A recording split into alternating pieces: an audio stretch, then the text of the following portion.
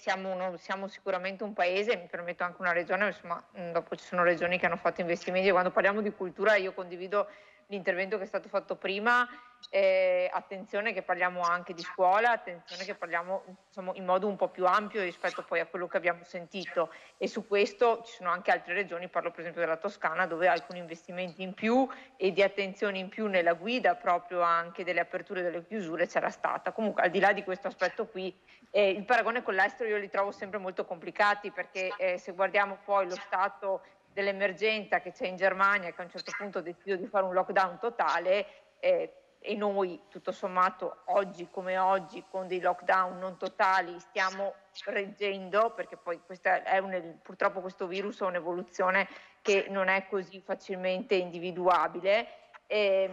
ehm, quindi questo paragone io lo trovo abbastanza improprio. Dopodiché che sia una priorità quello di dover riaprire anche i teatri e i cinema con delle forme di contingentamento, io penso di sì e credo e spero che sarà una delle priorità che sia governo che regioni hanno ben presente loro, dentro la loro testa. Su questo credo sia un accordo con comunque, vedo qua l'assessore, con l'assessore è stata fortemente voluta la manovra che era stata fatta nella precedente legislatura di cui abbiamo appena diciamo, sentito parlare. Quello che mi auguro è che proprio anche in, in vista di una riapertura, perché il mondo del teatro, il mondo dello spettacolo, il mondo della cultura è variegato, è fatto da molti libri professionisti, anche alle volte dimenticati, erano stati dimenticati anche a livello governativo inizialmente, poi c'è stata una ripresa, abbiamo fatto anche un emendamento a questo bilancio e io mi auguro che possano essere, eh,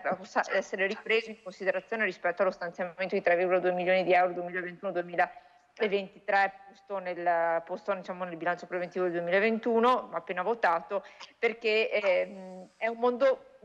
che eh, diciamo, prima giustamente il consigliere del Movimento 5 Stelle ha detto molto ampio, di cui nessuno di noi può sentirsi conoscitore pieno. Ecco, quello che io dico in vista di un'apertura della domanda anche del nostro ascoltatore, acceleriamo sui decreti attuativi del, eh, della legge quadro della cultura perché attraverso quei decreti forse riusciamo a avere quadro un po' più chiaro di come sostenere le diverse realtà culturali. Eh, l'assessore ormai si sentirà stanco di sentirmelo dire, le reti culturali sono fatte dai grandi operatori culturali ma anche dai piccolissimi operatori culturali.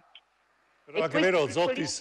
però è anche vero una cosa, che la sinistra ha sempre avuto lei un po' eh, storicamente la cultura, cioè la gestione dei teatri, si sa che insomma, le associazioni culturali tendenzialmente politicamente sono sempre un po' schierate. Quindi... Perché onestamente Veneto per fortuna trasversalità che